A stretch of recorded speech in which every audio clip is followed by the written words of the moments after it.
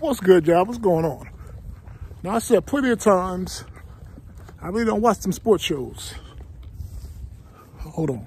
Hold on. Yeah, I don't watch some sports shows. Guys giving opinions on what they read or what they hear. Case in point, the so-called experts, NFL scouts, they blew it on Tyler Huntley. Now, Huntley wasn't no bum at Utah, three-year starter. Put up some nice numbers. First team Pac-12 quarterback in 2019 over Justin Herbert.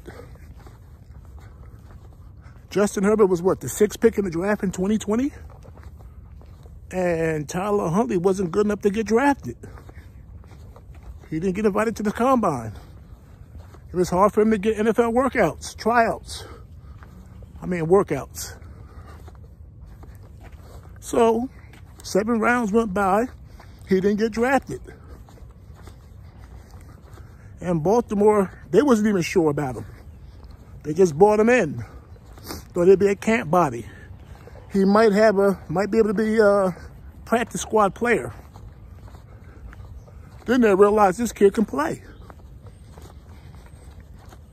Then in preseason,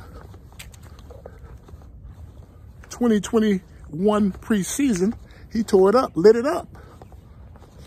Then he played in three games this year and lit it up. Now, still early. Only had two starts, but like I said, them sports shows and all that, I glance at it, keep it moving, make my own decisions, form my own, form my own opinions on what I'm looking at. But how could they mess up that bad on Tyler Huntley?